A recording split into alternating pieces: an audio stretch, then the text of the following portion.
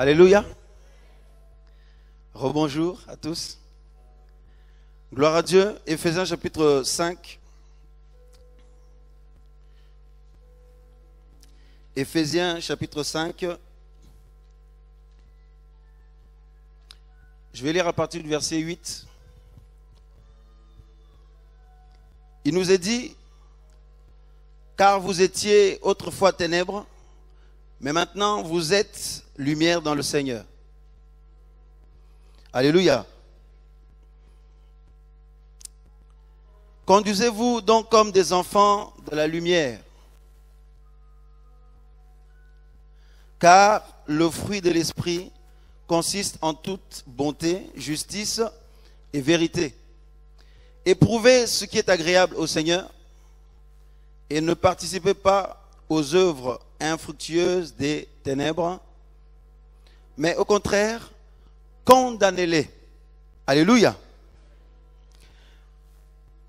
Je vais m'appuyer sur le verset 11. Ne participez pas aux œuvres infructueuses des ténèbres, mais au contraire, condamnez-les.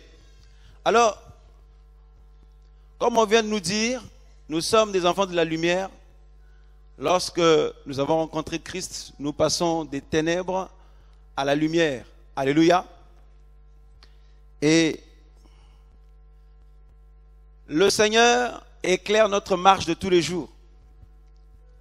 Et Dieu veut que, au quotidien, nous soyons en communion avec lui. Que nous soyons en paix avec lui, à chaque instant. Alléluia. Et nous comprenons que, étant toujours dans ce monde, une fois en Christ, nous ne sommes plus de ce monde. Alléluia. Nous sommes maintenant dans le royaume de Dieu et de Christ. Et ce royaume s'installe dans notre cœur. Et Dieu veut que nous puissions vivre ce royaume tous les jours de notre vie. Et que le règne de Dieu, justement, s'étende autour de nous, auprès de nos familles, de nos amis, de notre entourage, peu importe où que cela puisse être. Et le Seigneur nous appelle à quelque chose de bien précis. La prise de position par rapport à la vérité vis-à-vis des ténèbres. Parce que ce monde est dans les ténèbres.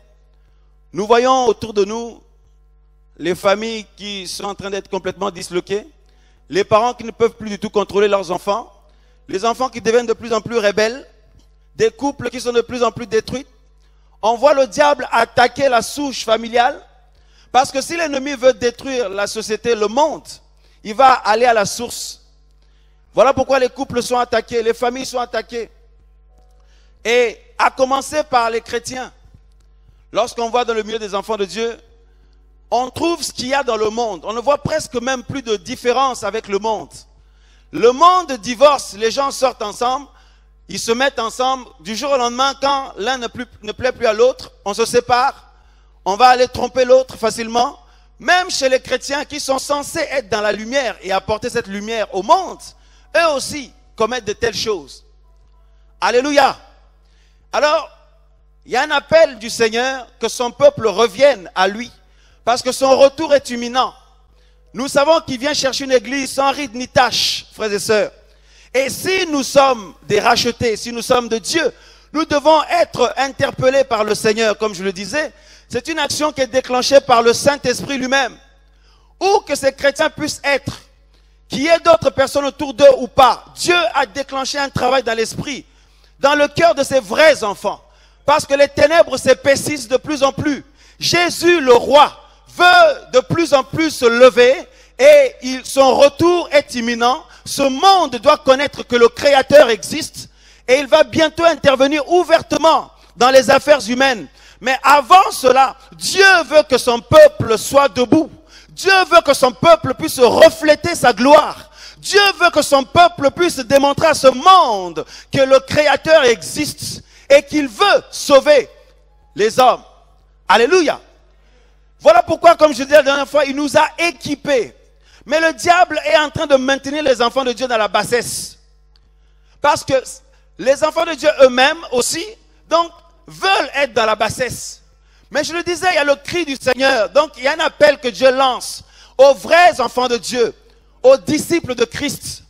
Frère, de prendre position par rapport aux ténèbres, vis-à-vis des ténèbres. Et ça commence par notre propre vie d'abord. Et dans le verset 11, on nous dit, ne participez pas aux œuvres infructueuses des ténèbres, mais plutôt condamnez-les. Avant de les condamner chez les autres, Dieu veut que nous puissions les condamner nous-mêmes d'abord, au travers de nos vies sanctifiées. La prise de position vis-à-vis du péché d'abord. On ne peut pas dire être de Dieu et aimer le péché. On ne peut pas dire être de Dieu et donc cohabiter avec le péché.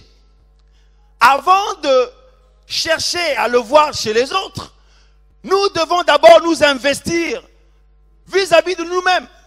Alléluia. Et là, le Seigneur n'attend que ça parce qu'il est prêt.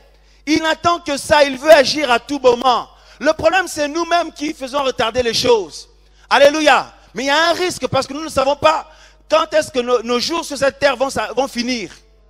Alléluia. Il ne faut jamais remettre à demain ce qu'on peut faire aujourd'hui. Aujourd'hui est une journée où le Seigneur veut nous interpeller à nouveau. Si nous l'aimons, si nous sommes de Christ, si nous avons le Saint-Esprit, pendant tout ce que nous sommes en train de partager là, vous allez voir que l'Esprit de Dieu en vous ne va pas vous laisser indifférent à toutes ces choses. Il y a quelque chose au plus profond de vous qui va bouger. Alléluia. La vie de Dieu qui est au fond de vous va commencer à tester. Et vous allez sentir qu'il est grand temps, qu'il est grand temps de prendre position déjà nous-mêmes, de condamner les ténèbres, de condamner le mal par notre vie sanctifiée d'abord, avant de le dire même. Alléluia. Et une fois que nous expérimentons ce miracle, nous pouvons maintenant, frères et sœurs, apporter aux autres. Parce qu'on ne donne que ce que l'on a. Alléluia. Si nous aimons le Seigneur, nous devons aimer qu'on nous parle de la sainteté de Dieu. Parce que Dieu est saint, il veut que son peuple soit saint. Dieu n'attend qu'une chose, se glorifier, se magnifier, donc agir au milieu de son peuple. Alléluia. Parce que nous servons le Dieu de gloire. Il veut que sa gloire éclate à chaque fois dans nos vies, lorsque nous nous rassemblons, dans nos familles, dans nos vies personnelles, frères. Notre Dieu de gloire, il est vivant. Il veut que les autres voient qu'il est vivant. Jésus ne peut pas habiter dans un corps. Jésus ne peut pas être avec toi et jamais se manifester. Parce qu'il est tellement glorieux. Tout ce qu'il veut, c'est se manifester. Il ne peut pas vouloir rester comme ça sans se manifester. Il veut que les autres puissent le voir en toi. Alléluia. Mais il a besoin de quelque chose. Il a besoin que tu comprennes, frères et sœurs. Que tu comprennes que il veut que tu lui soumettes ta vie. Et comme il est galant, comme il est amour, il nous respecte. Alléluia. Il veut que nous-mêmes, comprenant ces choses-là, que nous puissions venir à lui et nous abandonner à lui. Frère, Dieu n'attend que ça. Le Seigneur Jésus n'attend que ça. Je vous assure, il veut se glorifier. Combien d'âmes meurent chaque jour autour de nous? Combien de personnes, de familles qui sont brisées, des couples qui sont brisés?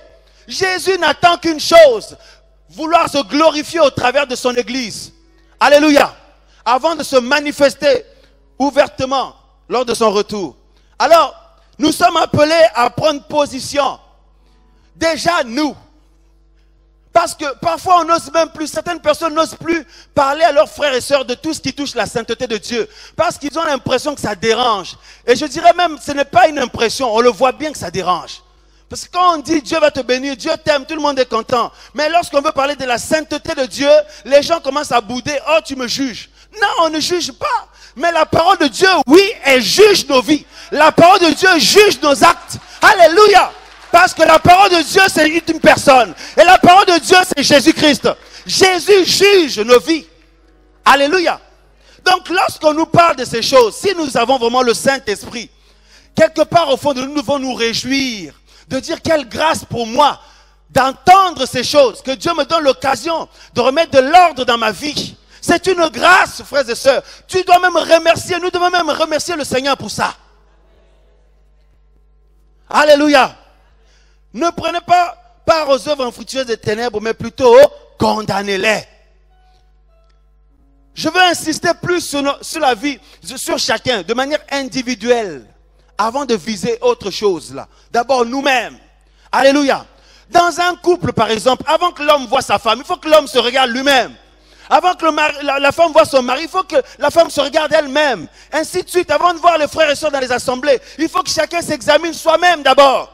Et je peux vous assurer que si nous prenons position par rapport aux ténèbres, par rapport au péché, par rapport au mal, la vie de Jésus va nous remplir.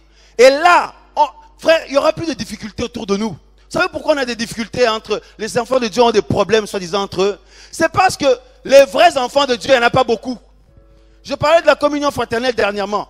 La communion fraternelle, par exemple, ça doit se faire avec des vrais enfants de Dieu. On ne peut pas être dans la communion fraternelle avec des faux. Et je le disais aussi, c'est quelque chose qui ne se force pas. On ne peut pas forcer l'amour. On ne peut pas forcer la communion fraternelle. On ne peut pas forcer de, s'entendre, tout ça. Alléluia. Physiquement parlant dans les familles, les gens de même famille, par exemple, biologiquement parlant, L'homme, euh, comment Le frère avec ses sœurs ou deux frères ensemble, avant de s'aimer, d'être, de s'entendre, ils ne vont pas dire bon, à partir de maintenant, on va bien s'entendre tous les deux, hein Mon frère, le grand frère avec son petit frère, la grande sœur avec sa petite sœur, ils vont s'entendre que non, à partir d'aujourd'hui, nous allons nous entendre ensemble. Non, on voit que c'est naturel. tellement, donc ils sont, ils sont de même sang, donc ça se force même pas, ils se rendent même pas compte. Alléluia, ça coule, c'est naturel. Eh bien, spirituellement, c'est la même chose. La communion fraternelle, frères et sœurs, ça ne se force pas. Alléluia. Et il faut d'abord avoir la communion avec Dieu d'abord. Parce que sans la communion avec Dieu, sans la relation personnelle de chacun avec Dieu, on ne peut pas espérer s'entendre avec les autres. Et une fois qu'on travaille ça, avec le Seigneur, ça va, frère, avec les vrais enfants de Dieu, avec les vrais frères et sœurs, ça ne se force même pas, ça coule. Alléluia. Mais faisons attention de ne pas nous chercher, non, celui-là c'est un vrai, celle-là c'est une, vraie, celui-là c'est un faux, etc. Ce n'est pas notre devoir. Alléluia. Certes, Dieu nous donne le discernement, mais il ne faut pas que ce discernement, nous puissions commencer à fustiger les autres. Mais Dieu nous montre de voir clair et puis nous prenons position. Alléluia. Nous prions, mais nous savons qui sont les vrais, qui sont les, quels sont, quels sont les vrais enfants de Dieu, qui sont les faux. Alléluia. Mais nous prions pour que Dieu éclaire tout le monde. Alléluia. Mais Dieu insiste sur un point, que nous puissions nous focaliser sur nous-mêmes d'abord. Alléluia. C'est très, très, très important. Amen. Avant de voir ce qui se passe ailleurs, de nous regarder d'abord nous-mêmes. Et si nous-mêmes, ça va avec le Seigneur, je vous assure, ce ne sera pas compliqué avec les autres. Quand bien même ce sera des ennemis, comment Jésus-Christ était avec ses ennemis. Alléluia. Voilà nous, marcherons comme notre maître a marché. Nous ne pourrons que voir la gloire de Dieu. Même s'il y a des difficultés de combat, tout ça nous ne pouvons que voir la gloire de Dieu. Nous aurons la paix de Dieu. Amen. Qui veut plaire à Jésus?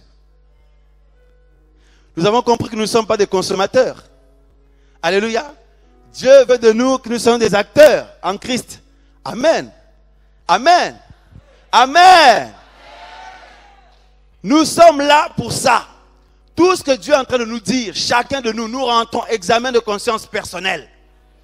Et nous prenons position. Le Seigneur est là, il n'attend que ça pour nous faire du bien. Alléluia. Gloire à Dieu. Toi,